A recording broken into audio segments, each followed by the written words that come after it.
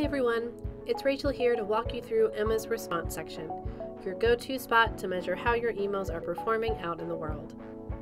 If you're anything like us, you'll head here very soon after you hit send, and a few times after that for good measure.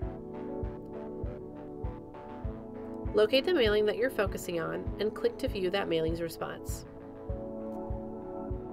Once you land on the overview page, you'll be able to quickly see just how this mailing performed with your open, click, delivery, opt out, and share rates right up at the top. 24 hours after your mailing has sent, you'll be able to see your mailing score, which will tell you at a glance exactly how your mailing performed and how it stacks up against mailings across the Emma community. Scroll down a bit, and you'll see a click map, an easy to understand view of your email that shows exactly which portions of your content are drawing people in. You can also see opens by device type and email client. If you jump back up to the tabs at the top of the page, you can see a list view of all the people who opened, clicked, opted out, and shared.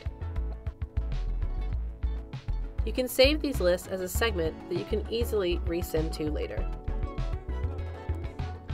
You can also quickly export any of these metrics into a CSV file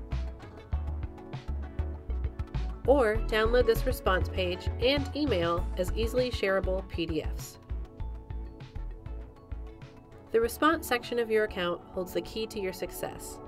This is where you can get as detailed as you like about exactly how well your emails are performing, giving you the data you need to tweak your approach the next time around.